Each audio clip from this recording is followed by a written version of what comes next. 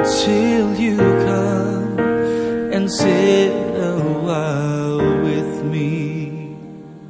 You raise me up so I can stand on my